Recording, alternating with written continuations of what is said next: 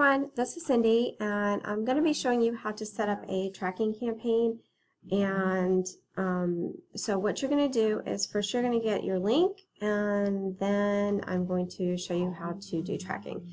Um, and, the, and the reason why tracking can be important is when you start branching out, I know most of you are probably going to start either posting on Craigslist or you're going to start posting on Facebook, one or the other.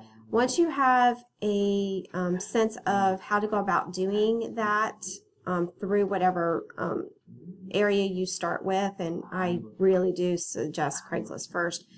Um, once you have that down and branching out, you want to make sure you're you're seeing where your traffic is coming from because you want to be able to see, you know, if you're not getting traffic from one place, you want to be able to post somewhere else. And so you want to track your links.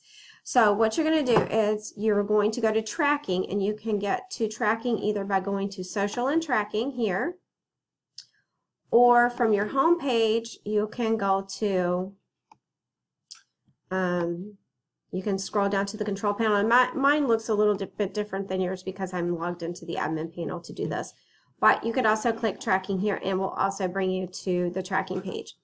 And then what you're going to do it's very easy. You're going to um, go here and let's say you want to set up one for, um, I'm going to do another Facebook one. So let's say I want to do one for Facebook. So you're going to go in here and you're going to type in, excuse me, you're going to type in the um, name of the um, place where you're doing it at. And I'm going to put Facebook um, 3 because I think I already have two already set up.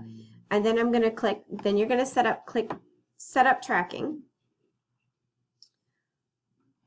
And then you're going to come over here and you're going to find the category where your main site is. So if your main site is the $40 site, you would go to 40. If your main site is the $50 site, you would go to 50 and so on and so forth.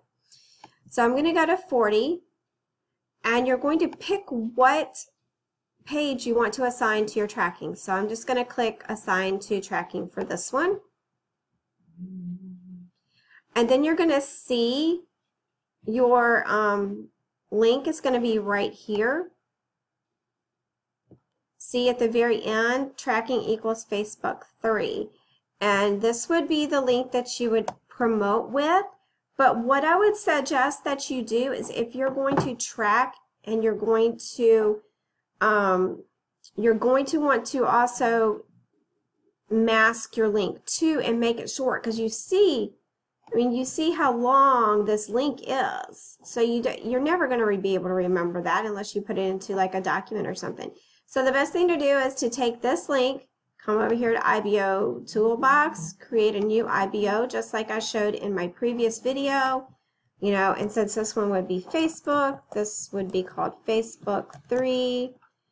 And then you just put that whole website link in here and then just create it exactly like um, I showed you in the um, how to mask your link with IBO toolbox video and then you would promote with that .NET alias.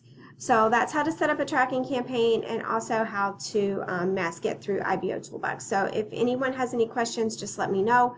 I'm always around somewhere, so just reach out to me. And I will see y'all all on the next video or inside the MED Awesome Facebook group. Later. Bye.